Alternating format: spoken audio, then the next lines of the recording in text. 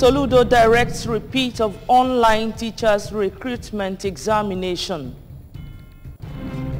Education Commissioner Chuma-Udeh announces date for repeat of online exam for teachers. Federal government moves to end export rejection in Europe and other parts of the world. Lebanese army arrests 64 people trying to sail to Europe. Before the news in details, here is a special message. Governor Chukwuma Soludo has come for a total turnaround maintenance of the Anambra State economy and promotion of core Igbo values. Let's give him maximum support for the task ahead. Good morning and welcome to the news. My name is Nonya Nwokoye. In line with his objective of ensuring transparency and fairness to all, Anambra State Governor Professor Charles Chukwuma Soludo, CFR, has directed a repeat of the online recruitment exam for teachers in Anambra State.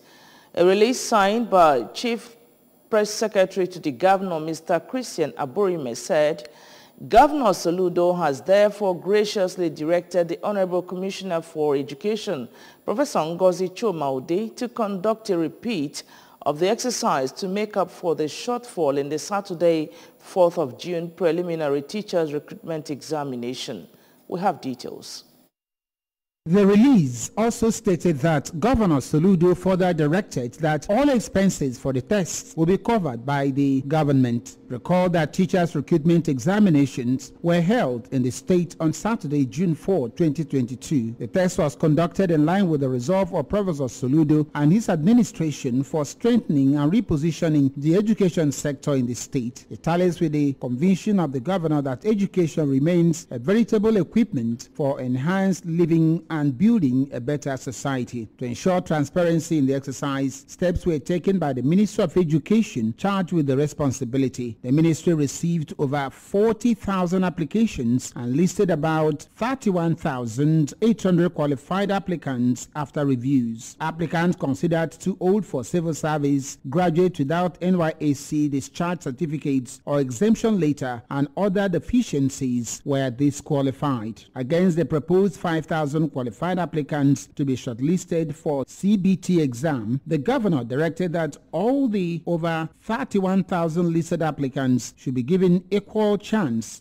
to participate in the preliminary online exam before shortlisting the successful applicants for second CBT exam. Other measures necessary to attain reliability and credibility of the tests were taken. There were, however, reported mix-up arising from the online examination site that were not intended. It is in a bid to make up and ensure that all eligible candidates are carried along that the governor has approved a repeat of the exercise. He assures Ndianambra their interests will be protected at all time by his administration.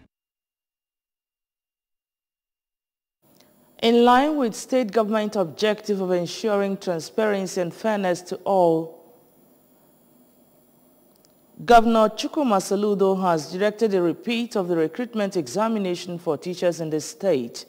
Speaking to journalists, Anambra State Commissioner of Education, Professor Ngozi Chuma-Udeh, said the receipt examination will now take place on Saturday, 11th June 2022 at designated centers. Our education correspondent, Theophilus Ukoha, completes the report.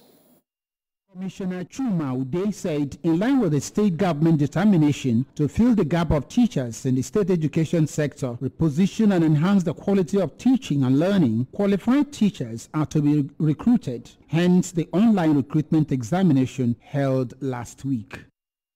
Uh, on the day of the exam, I came naturally the way I do my exams. I came with the exam uh, questions on the morning of the examination and uh, we uploaded. The upload uh, was completed exactly on the five minutes to the exam, and uh, the exam started. 35 minutes into the examination, the hosting company started flashing cyber attacks from that 35 minutes to 50 minutes when they eventually shot their server, they had over 74 cyber attacks. That is uh, people trying to hack the uh, platform. So at the end of it all, some people were logged out, some started, they could not finish. Then there were also others who complained genuinely about um, network. The people in the riverine areas, you know, there were multiplicities of complaints. So we decided to take our records to the governor. Commissioner Udeh said the purported mix-ups arising from the online examination site were not intended, rather was as a result of cyber interference from fraudulent individuals who planned to manipulate the exercise. She however said the state governor has no choice candidate as everyone qualified will be given equal opportunity to retake the examination come Saturday 11th June 2022 at different designated centers being that the last examination was cancelled. The commissioner therefore assures the Anambra that their interests will be protected at all times. Today, we are starting the journey afresh. I have invited the CBT um, owners to a meeting. After this interview now, I'll hold a meeting with them, decide on the modalities for the exam, and then maybe by Saturday, the exams will be redone again. This time around, it will be a CBT exam. So we are going to divide people into groups, tell them which center they will go to. So what they should naturally look out for is the center where they are scheduled to take the exam. So on the morning of that day, you pick your bags, get into the center, and take your exams. At the end of the exam, copy your score or snap, uh, take, okay, phones are not allowed in, so copy your score. Theophilus Okoha reporting for ABS News.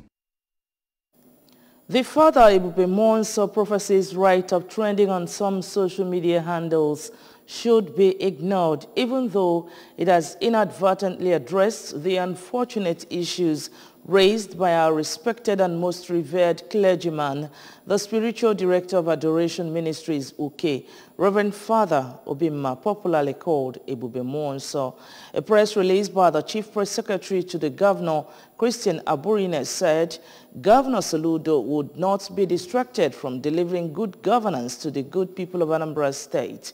Professor Soludo at all times has respect for the clergy, the church, and indeed all men and women of God, and will not join issues with them. The governor further enjoins the good citizens of Anambra State to go about their lawful duties without fear of molestation, assuring that the security of their lives and property is the main priority of his government. Now, following distress calls from Oko and the Columbia communities recently, the Anambra State Police of operatives in collaboration with vigilante service officials have rescued four kidnapped victims. Speaking to the press on behalf of the Anambra State Commissioner of Police, CP Echeng Echeng, the Command Police Public Relations Officer DSP Tochukwu Ikenga, said the victims were between the age bracket of 40 to end 60 years. The PPRO also said that the operatives arrested one Emeka Amobi who was suspected of complicity in the crime.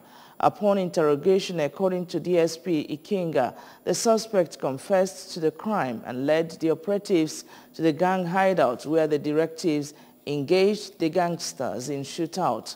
The gang leader, Juan Chinedu Ajogo, was gunned down and five others, including their native doctor, were arrested for further interrogation and prosecution. Items recovered from the suspects include one SMG rifle, one Beretta pistol, two locally made revolvers, pistols, one dagger, one Biafra flag, two pairs of ESN uniforms, as well as one Acura SUV snatched from a Reverend Father in Obo last month, among other items. And from the national scene, the federal government has set up a special technical committee with a view to ending the perennial rejections of Nigerian non-oil export products in Europe, the Americans, and other parts of the world. The chairman of the Technical Committee on Export rejects the Director, Commodity and Export uh, Department of the Ministry of Industry, Trade and Investment, Mr. Suleiman Adedayo Audu, said in Abuja that the committee would work hard to make recommendations on ending the rejection of Nigeria's products. He noted that the terms of reference of the committee were to identify reasons for the rejections and prefer solutions to them. The executive director of the Nigerian Export Promotion Council, NEPC, Dr. Ezra Yakusak, on his part said the committee had a five-week mandate to identify gaps and prefer solutions to the problem. Now, amid increasing calls for diversification of the economy, Nigeria's crude oil exports jumped to 5.6 trillion naira in the first quarter of 2022, reflecting nearly 200% increase when compared to the same period in 2021. The figures contained in the Foreign Trade Report of the National Bureau of Statistics said Nigeria's total merchandise trade stood at 13 trillion in the first quarter of 2022, indicating an increase of 11.5% over the value recorded in the fourth quarter of 2021 and 65.41% higher when compared to the value recorded in the first quarter of 2021. The export trade in the quarter under review stood at 7.1 trillion, showing a rise of 23.1% over the value recorded in the preceding quarter and also an increase of 137.9% over the corresponding period of the preceding year. On the foreign scene, the Lebanese military has arrested 64 people trying to sail from northern Lebanon in an attempt to get to Europe.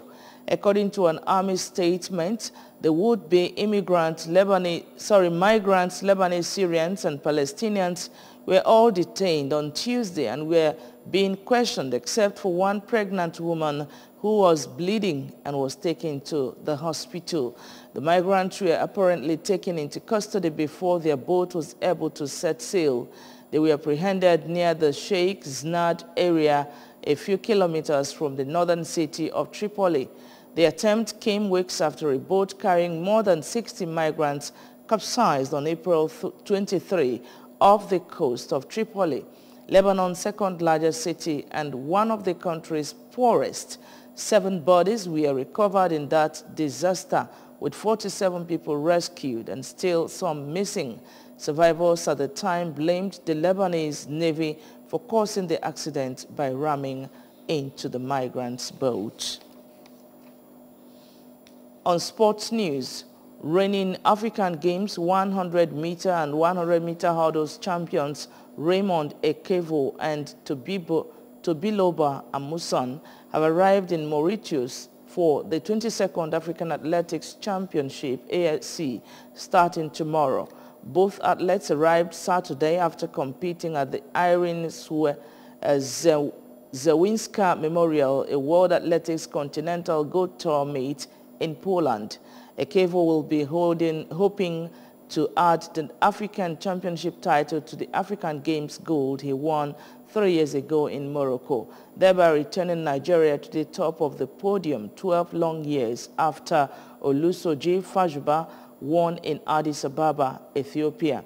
The 23-year-old who ran 9.96 S to win the African Games gold in 2019 will also be hoping to run faster and break compatriot Seun Ogunkoya's 9.94s championship record set in Dakar, Senegal in 1998.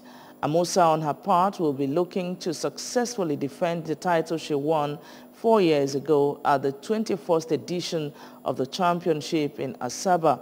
Meanwhile, the home-based contingent was expected to depart Nigeria for Mauritius last night.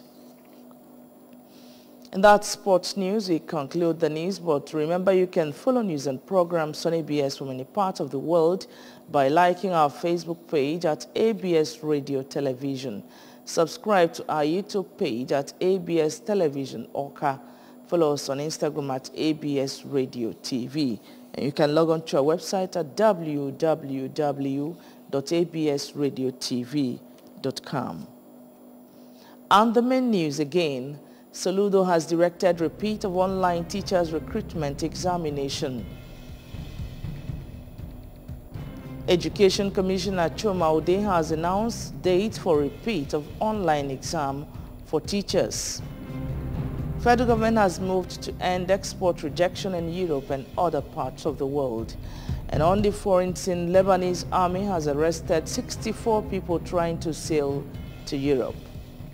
The special message once again, Governor Chukwuma Soludo has come for a total turnaround maintenance of the Anambra State economy and promotion of core Igbo values.